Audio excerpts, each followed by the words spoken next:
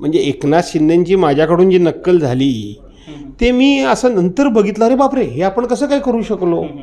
त्यामुळं होतं ही गोष्ट खरी आहे की नक्कल होते मिमिक्री होते ठरवून होतं असं काय नाही पण ते जमतं चांगल्या प्रकारे एवढं नक्की.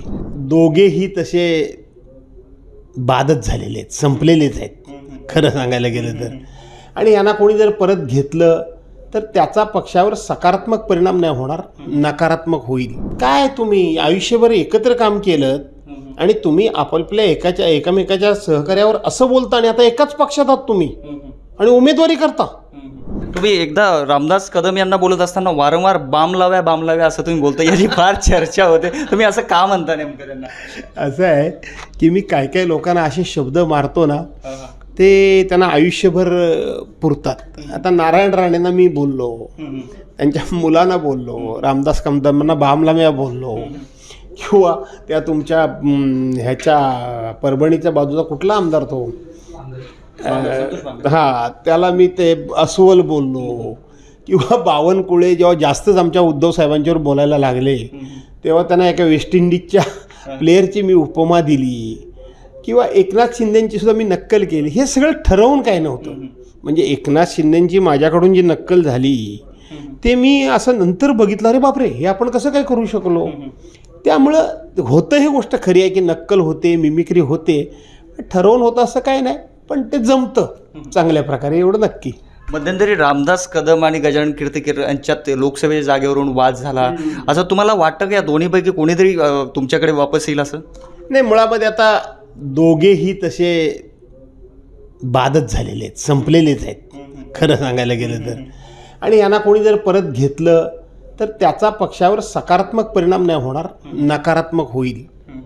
पण ही माणसं काय पात्रतेची आहेत म्हणजे गजाभाऊ बोलले त्यांनी आपली लेवल नाही सोडली.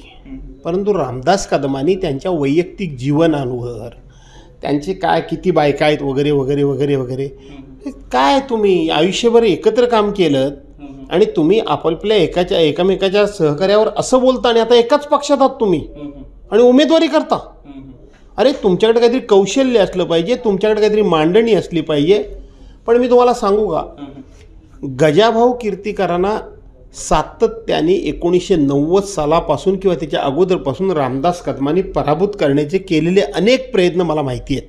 त्यातील एखादा प्रयत्न? मला अनेक मी सांगितलं ना एकोणीसशे नव्वद साली सुद्धा गजाभाऊ पडावेत याच्याकरता रामदास कदमांनी प्रयत्न केलेले होते. हे खरं आहे आणि आमच्या कोकणामध्ये रामदास कदमांनी साधारणपणे अनेकांना पराभूत करायचा प्रयत्न केला. आणि वरती माझ्यासारखा निष्ठावंत कोण नाही म्हणून इतक्या जोरात सांगायचं की मी निष्ठावंत असा दुसरा निष्ठावंत कोणी नाही. त्यामुळं ही माणसं खरं सांगायला गेलं ना तर ही माणसं म्हणून म्हणण्याच्या योग्यतेची नाही आहेत तुमचे मतभेद असू शकतात तुमचे वाद असू शकतात. एखाद्या विषया म्हणजे मी माझं तत्त्व सांगतो. एखाद्या विषयाबद्दल तुमचे आणि माझे मतभेद होऊ शकतात. तो विषय सोडायचा परंतु त्या माणसाला तोडायचा नाही. ही माझी माझी पद्धत आहे माझी स्वतःची. ठीक आहे त्या विषयावर त्याची माझी मतं पटत नाही ना. तो विषय बाजूला सारू तो त्याच्यापर्यंत लढेल आपण आपल्या लढे बाजूनं प परीनं लढू. पण त्या माणसाला कधी तोडायचा नाही. ह्यांना फक्त स्वतःचा स्वार्थ दिसतो.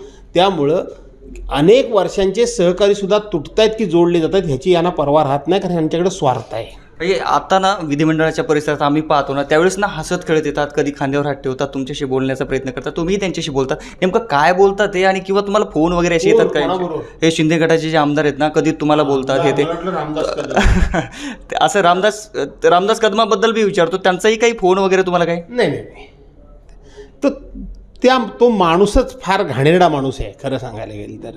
फार राग आहे तुम्हाला त्यांच्याबद्दल? राग आहे म्हणण्यापेक्षा एवढं सगळं मिळाल्यानंतर आज उद्धव साहेबांना ज्या भाषेमध्ये हा माणूस बोलतो शिवसेना सर्वांनीच सोडली. पण जी रामदास कदम भाषा वापरतात ती भाषा कोणी वापरलेली नाही.